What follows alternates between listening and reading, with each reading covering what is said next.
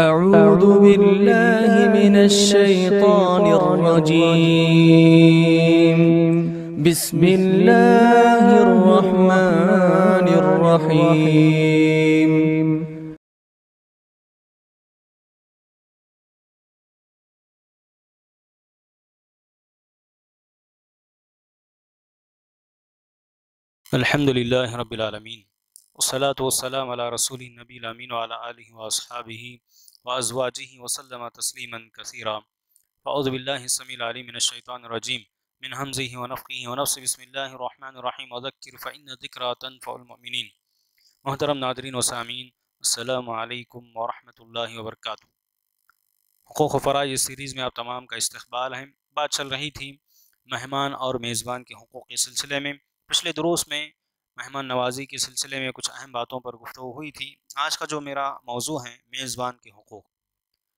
मोहतरम नादरीन और सामीन, शरीयत ने जहाँ मेहमान की खातिर दारी, तवाज़ो, इज़्ज़त व तकरीम और उनके हकूक़ की अदायगी, ईमान की अलामत बतलाई है, वहीं पर मेहमान पर भी ज़रूरी है करार दिया कि वह मेज़बान के हकूक़ का मुकम्मल ख्याल रखे, उसकी पासदारी करें।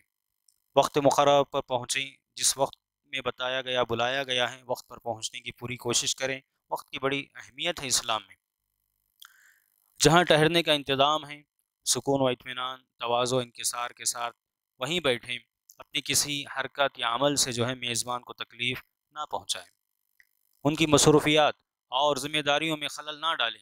खाने पीने के सिलसिले में इस तरह के मुतालबात ना करें जो उनकी ताकत से बाहर हों।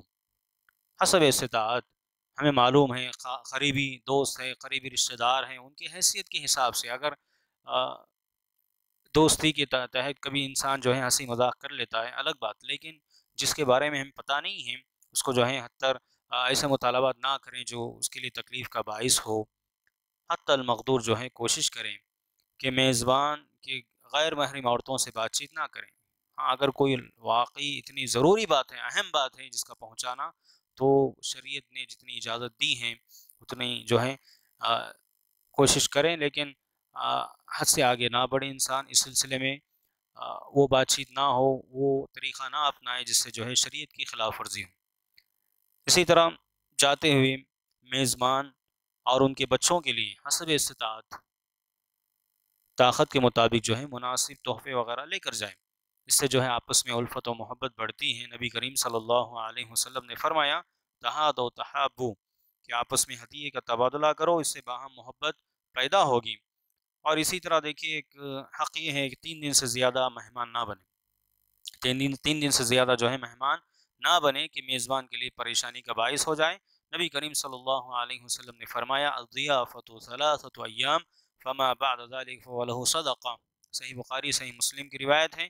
मेहमान नवाजी तीन दिन है, इसके बाद मेज़बान जो कुछ करे वो उसके लिए सदका होगा। हाँ अगर कोई करीबी रिश्तेदार है, दोस्त है, वो ख़ुद इसरार कर रहा है, कोई हर्ज की बात नहीं है। वरना हम खुद से जो है, इस तरह का मामला ना करें। ज़्यादा से ज़्यादा तीन दिन हम जो है रुक सकते हैं। शरीयत ने ये हमें ताकीद की है यह अदब सिखाया है, इसको मलहूज़ मलहूज़ रखना चाहिए, इसकी पासदारी करना चाहिए। एक और हदीस में अल्लाह के नबी साहब ने फरमाया, मुसलमान के लिए जायज़ नहीं कि अपने भाई के यहाँ इतना ठहरे कि उसको गुनहगार कर दें। साहबा ने पूछा अल्लाह के नबी वसल्लम गुनहगार कैसे करेगा? फरमाया इस तरह कि उसके पास इतना ठहरे कि मेज़बान के पास ज़ियाफ़त के लिए कुछ ना रहे। सही मुस्लिम की रिवायत। इसी तरह देखिए एक, एक हक़ ये है खाने से फारिग होने के बाद मेज़बान के हक़ में खैर बरकत की दुआ करें। अबू दाऊद की मशहूर रिवायत अबुल हैसम रदी अल्लाह तु ने नबी करीम सल्लल्लाहु अलैहि वसल्लम और आपके सहाबा की दावत की। जब आप सल्लल्लाहु अलैहि वसल्लम और तमाम लोग खाने से फारिग हुए तो प्यारे नबी सल्लल्लाहु अलैहि वसल्लम ने फरमाया, अपने भाई को सिला दो, इसका बदला दो, इसका सिला दो।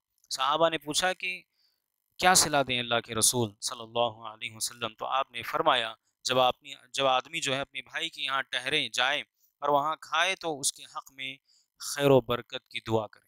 खैर बरकत की दुआ करना, ये उसका सिला है, बदला है। ख़ुद अल्लाह के नबी सल्लल्लाहु अलैहि वसल्लम ने एक मरतबा, साद बिन उबादा, मशहूर सहाबी, अंसारी सहाबी रदी अल्लाह तु के यहाँ तशरीफ़ ले गए।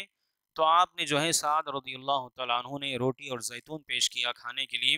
आपने तनाउल फरमाया और उनके हक़ में दुआ दी, मशहूर दुआ, अफ्तर इंदकुमसाइमून वाखल तआमकुमुल अबरार वसलत अलैकुमलमलाइका जिसका तर्जुमा ये है सुन नबी दाऊद की मशहूर रिवायत, तुम्हारे यहाँ भूखे लोग इसी तरह खाते रहें। नेक लोग तुम्हारा खाना खाएँ और फरिश्ते तुम्हारे लिए रहमत व मगफरत की दुआ करें। इसी तरह जब खाने से फारिग हो जाएँ, जितना जल्द हो सके फारिग होकर दस्तरखान से उठकर ख़ियामगाह की तरफ़ चले जाएँ। देर तक जो है दस्तरखान पे बैठ कर बातचीत करना ऐसा ना करें। हाँ अगर कोई ज़रूरी बात है तो क़ियाम गाह चले जाएँ या दस्तरखान से उठकर जो है बाहर तशरीफ़ ले जाएँ और वहाँ जाकर बात करें ताकि मेज़बान और मेज़बान के घर वालों को इंतज़ाम करने में कोई दुशारी कोई तकलीफ़ ना हो। तो ये चंद अहम जो है हकूक़ हैं मेज़बान के हक़ में। तो हमें हर एक को कोशिश करना चाहिए। मेहमान की तकरीम भी हम करें, मेज़बान का भी पूरा ख्याल करें, जो हकूक़ और आदाब यहाँ बताए गई उसकी पूरी पासदारी करने की कोशिश करें। दुआ है रबालमीन से कि अल्लाह ताला हम तमाम को सही मानों में, जो भी बातें हमने सुनी हैं समझने की अल्लाह तोफ़ता फ़रमाए, इन हकूक़ फ़राइज को कमा हक़ अदा करने की शहादत नसीब फरमाए। इस सिलसिले में जो भी कोताहियाँ सुस्ती काहली होती अल्लाह उससे हमारी हिफाजत फरमाए। आमीन सुम आमीन। वमा अलैना अल्लाम वरहमल मुबीन।